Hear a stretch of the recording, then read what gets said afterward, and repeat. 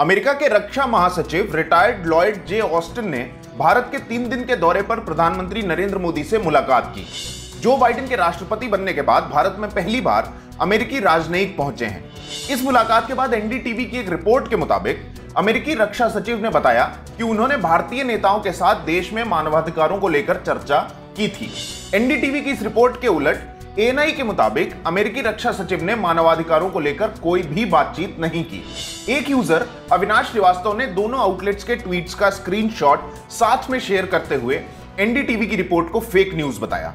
एक और यूज़र, अतुल आहूजा ने एनडीटीवी को पाकिस्तानी मीडिया हाउस का तमगा देते हुए दावा किया कि एनडीटीवी ने ऑस्टिन के बारे में गलत रिपोर्टिंग की है।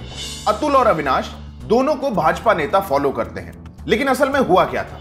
असल में पहले खुद एएनआई ने विश्वसनीय सूत्रों का हवाला देते हुए रिपोर्ट किया था कि विदेश मंत्री एस जयशंकर और अमेरिकी रक्षा सचिव लॉयड ऑस्टिन की एक घंटे चली इस बैठक में दोनों पक्षों ने भू रणनीतिक मामलों के साथ साथ मानवाधिकारों की भी बात की थी।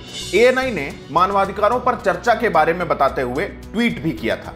इस रिपोर्ट के दो दिन बाद न्यूज़ एजेंसी एएनआई अपनी बात से पलट गई और उच्च स्तरीय सूत्र का हवाला देते हुए कहा कि अमेरिकी रक्षा सचिव लॉयड जे ऑस्टिन ने इस मीटिंग में भारत में मानवाधिकारों को लेकर कोई चर्चा नहीं की थी।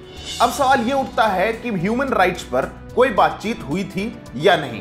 इसका जवाब है कि ऐसी चर्चा हुई थी और इसका सबूत मिलता है खुद अमेरिका के रक्षा महासचिव से, जिन्होंने बताया कि भारतीय प्रधानमंत्री से उनकी इस मुद्दे पर कोई बातचीत नहीं हो पाई थी, लेकिन उनकी कैबिनेट मंत्रियों से इस बारे में बात हुई थी। आप उनके मुँह से ही ये जवाब सुनिए।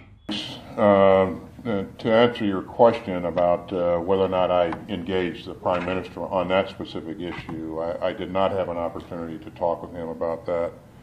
Uh, having said that, um, you know, I did have uh, a conversation with uh, other members of the cabinet uh, on this on this issue, and I think we have to remember that.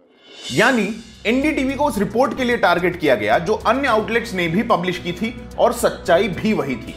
ANI ने पहले तो सच बताया और फिर बाद में अपनी report में ऐसा कहा कि ह्यूमन राइट्स को लेकर या मानवाधिकारों को लेकर कोई बातचीत हुई ही नहीं थी।